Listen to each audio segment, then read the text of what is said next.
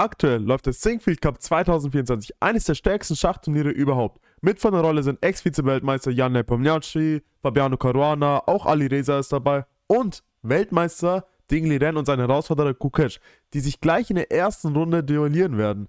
Ganz wichtiges Duell, denn im Dezember 2024 duellieren sich beide Spieler um die Weltmeisterschaftskrone. Wie diese Partie ausgeht, werden wir gleich analysieren. Viel Spaß mit dem Video.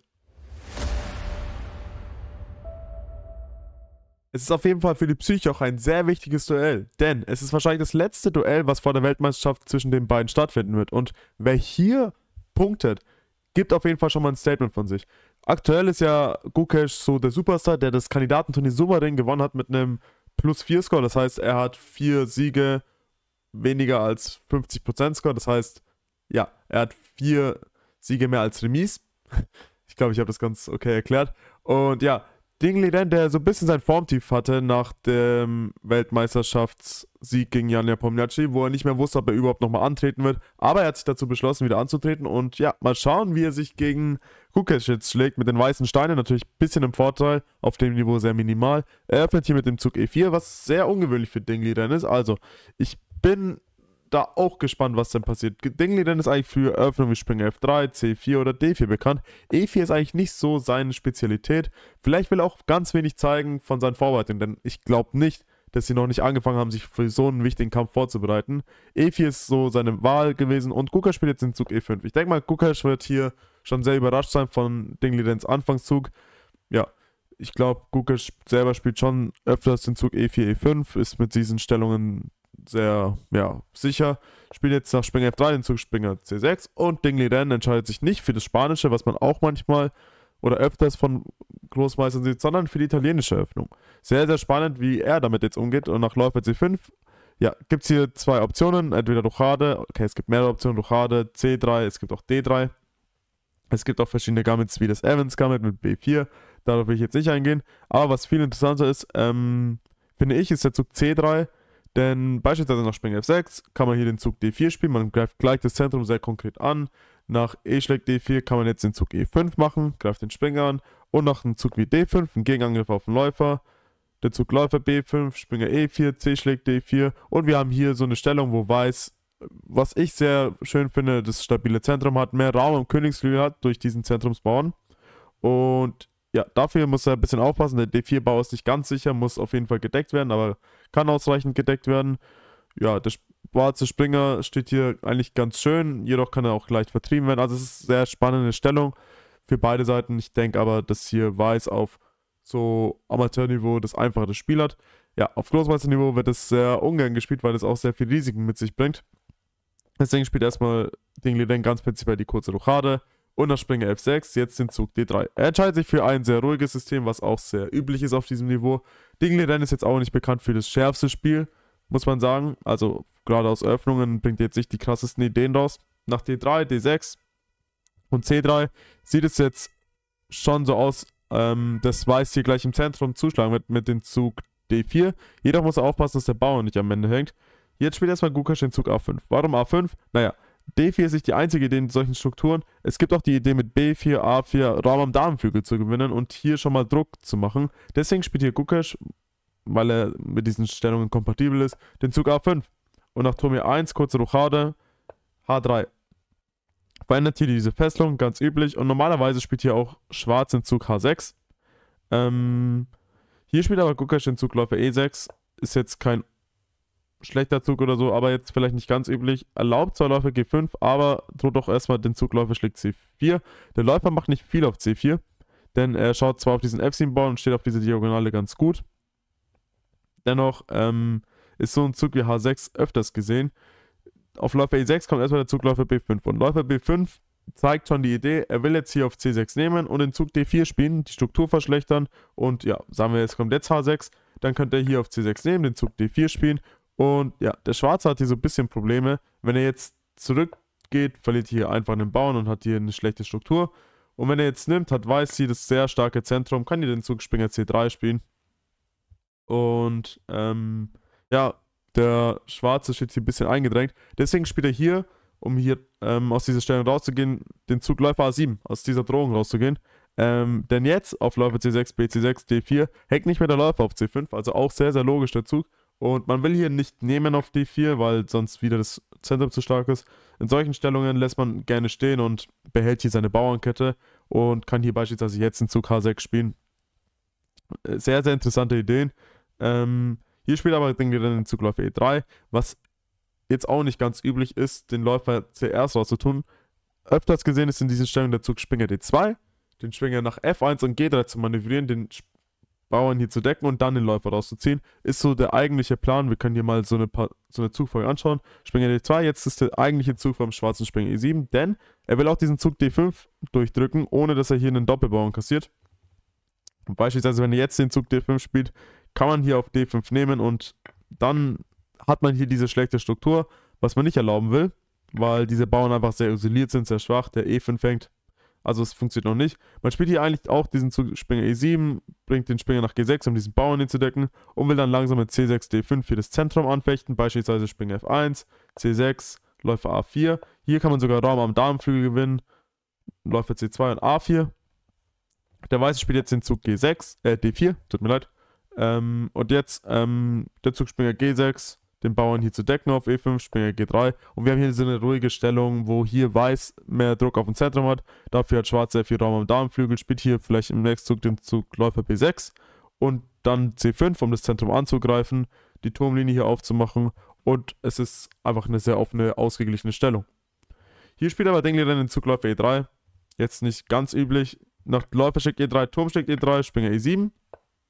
Ähm, spielt hier, hier den Zug D4, greift den Bauern an und der Zug Springer G6. Jetzt haben wir hier das Problem, was das Problem? Der Springer steht noch auf B1.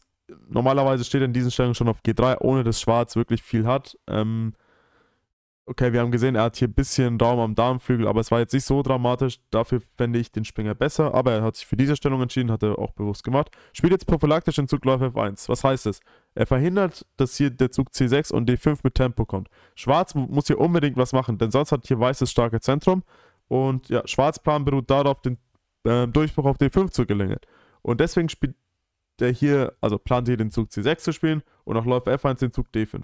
Hier spielt ähm, Dingley dann gleich den Zug D5, äh, Läufer F1 und Gukac spielt jetzt den Zug D5 direkt. Das vermeidet jetzt für den Weißen, dass er nicht den Zug C6 gemacht hat, dass das Zentrum noch stärker ist. Denn nach D5 hat er jetzt die Zeit, Springer BD2 zu spielen. Und ja, jetzt entschied sich Gukesh den Bauern auf E4 zu nehmen. Wir haben hier einen Abtausch. Er nimmt aber nicht auf E4, sondern auf E5. Ähm, denn dieser Bauer hängt erstmal und nach Springer schlägt E5, D schlägt E5, Springer schlägt D2 und Dame schlägt D2. Hat hier ähm, ja, Dingley keinen Bauern mehr, aber eine angenehmere Stellung, finde ich. Denn irgendwie steht der Läufer auf E6 ziemlich, ziemlich schwierig. Die Stellung ist leicht besser für Weiß, einfach dadurch, dass der Läufer hier in dieser Kette drin steht und normalerweise will man seinen Läufer auf einem anderen, auf einer anderen Farbe haben als die Bauernkette. Die Ke Bauernkette ist aber eventuell hier auf Weiß. Gukash probiert hier natürlich den Zug D4 durchzuziehen. Aber Weiß hat hier sehr einfaches Spiel. Er spielt den Zug Turm G3, vielleicht Dame H6. Also wir sehen jetzt hier den Zug Turm G3. Und jetzt kommt schon der Zug D4. D4 macht schon an sich Sinn prinzipiell, denn der Läufer will nicht auf seine eigene Bauern schauen. Hier aber ist es vielleicht etwas riskant, denn der Bauer kann auch sehr, sehr schwach werden. Hier hätte Weiß die Möglichkeit gehabt, eine sehr, sehr angenehme Stellung zu erreichen mit dem Zug Dame H6. Ähm, was er auch gezogen hat. Aber nach G6 hat er hier die Möglichkeit, diese Stellung einfach weiter zu verbessern. Er steht hier auf jeden Fall besser. Wenn wir hier mal die Figuren sehen vom Weißen, die Dame steht aktiv, der Turm steht aktiv, der Läufer steht noch nicht ganz so aktiv, aber kann hier schnell mit Läufer D3 aktiviert werden, was wir gleich in der Partie sehen werden. Beziehungsweise ist Läufer D3 der Zug, den er gemacht hat und auch irgendwie der Fehler hier. Warum? Gehen wir auch gleich drauf ein.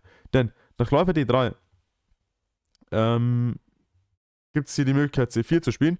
Aber was besser gewesen wäre, ist der Zug Turm E1. Einfach noch seine passivste Figur ganz logischerweise ähm, zu aktivieren. Und wenn jetzt beispielsweise Schwarz den Bauer nimmt auf C3 und B schlägt C3, ist hier schon ein total gefährlicher Angriff in sich, denn es droht H4, H5, der Läufer will nach D3, der Turm kommt auf E3, die schwarzen Felder sind hier sehr schwach. Das heißt, es gibt Pläne wie Turm E3, Turm F3, Turm F6. Und es ist für den Schwarzen nicht so einfach. Soll er jetzt den Zug König H8 spielen, um aus dieser Linie rauszugehen, spielt man hier H4. Und nach Dame C7, H5 hat hier der Schwarze total Probleme. Also es ist gar nicht so leicht. Also wenn man hier probiert, die schwarze Stellen zu sehen, wir können auch mal das Brett drehen. Was ist der schwarze Plan hier? Es ist total schwer. Er könnte hier die Bauern vorziehen, aber er ist total unterentwickelt. Die Türme haben kein logisches Feld. Die schwarzen Felder sind unglaublich schwach. Und wenn man jetzt beispielsweise in Zug hier H5 macht, äh, B5 und dann H5 folgt, ich drehe mal wieder das Brett um, ähm, es sucht H schlägt G6, F schlägt G6 und Turm schlägt G6. Und ja, B5 geht noch nicht mal. ist auch noch ein Problem in der Stelle, dass der Läufer auf F1 dieses Feld hier deckt und diesen Vorschub dieser Bauern, von diesen Bauern verändert. Also hier hat auf jeden Fall Weiß wirkliche Chancen nach Dame C7, H5, Turm G8 und Läufer D3. Gewinnt er auch einfach hier forciert den Bauern. Das ist, beziehungsweise, ja gut, Läufer F5 geht auch nicht. Läuft beispielsweise in dieses Matt hier rein. Also, total schwierige Stellung. Überraschenderweise hat sich Dinglin gegen diese Stellung entschieden und spielt hier den Zug Läufer D3. Und der Zug ist schon sehr, sehr fragwürdig, denn hier erlaubt er wirklich Schwarz zum Spiel zu kommen. Und ich frage mich, warum es Dingley dann gemacht hat. Hat das gesehen, dass hier der Zug C4, Läufer E4 und D3 kommen kann? Weil jetzt sieht es wirklich so aus, als hätte Schwarz genug Gegenspiel, wodurch sich auch Dingley dann zu einer ganz einfachen Abwicklung entschieden hat. Was mich einfach wundert, denn warum geht man in so eine Stellung? Dachte, er kriegt den Bauern auf B7, denke ich mal nicht, weil nach Turm B8 kommt der Turm in die weiße Stellung rein und es ist gar nicht mehr so einfach zu sagen, dass hier weiß besser steht. Und es ist auch nicht mehr einfach, hier einen Turm ins Spiel zu bringen, weil der Bauer schon ziemlich stark ist und nach D2 so der Turm irgendwie auf der Grundlinie bleiben muss. Es ist nicht leicht, den Turm auf die dritte Reihe zu bringen. Also für mich sehr, sehr fragwürdig, die Entscheidung, das zu erlauben. Macht er das mit Absicht? Will er nicht zu viel vom Weltmeisterschaftsspiel versprechen? Keine Ahnung. Aber nach D3 entschied er sich jetzt, den Zugläufer G6 zu spielen, was sehr brillant aussieht. Aber nach FG6, Turm G6, was anderes bleibt nicht übrig, HG6 und Dame schlägt G6, haben wir jetzt dieses Dauerschach. Und ja, das war auch hier die Partie am Ende. Dingley Ren hat hier das Dauerschach gegeben. Wir sehen, die haben beide an sich viel Zeit investiert. Es ist nicht so, dass sie es nicht probiert hätten. Dingley Ren hat eine 23 Minuten und Gukic 24 Minuten. Aber beide entschieden sich fürs Remis.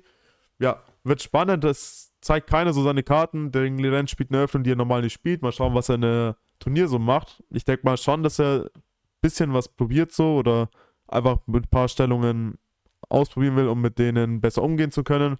Und Kukesh, ja, er macht sein Ding, er hat schwarz gehabt, Remis, eigentlich perfekt, sehr, sehr spannend. Schreibt gerne mal in die Kommentare, wer ihr denkt, hat die Nase in diesem Duell vorne. Viele sagen, dass Kukesh einfach sehr gut in Form ist und das Potenzial hat, einer der jüngsten Weltmeister oder vielleicht der jüngste Weltmeister, ich bin mir nicht sicher, ob er zu dem Zeitpunkt jünger als Carlsen ist, müsste er aber sein, wenn er den Weltmeisterschaftskampf 2024 im Dezember gewinnt. Oder seht ihr Dingley Ren als erfahrenen Spieler und schon Weltmeister weiter vorne? Sehr, sehr spannend. Ähm, auf jeden Fall, danke fürs Zuschauen. Ich hoffe, euch hat die Analyse gefallen, bisschen geholfen. Und ja, für weitere solche Videos abonniert gerne den Kanal, lasst ein Like da, checkt unseren Merch-Stand aus, also unseren Online-Store für ja, solche Pullover und Poster, die wir zur Verfügung stellen. Und checkt unser Instagram ab. Und wir sehen uns beim nächsten Video. Ciao.